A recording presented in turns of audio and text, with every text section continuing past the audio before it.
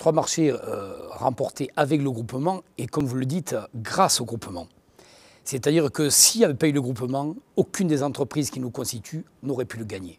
Premier marché, c'est le référencement Areva, dit Aptareva. Areva distribue 200 millions d'euros par an à ses ingénieries. Ils sont passés de 450, il fallait choisir 50 ingénieries et Alphadir est dedans depuis 10 ans. Deuxième exemple, avec un des grands clients de l'énergie nucléaire, le CEA. 10 millions d'euros, contrats nationaux,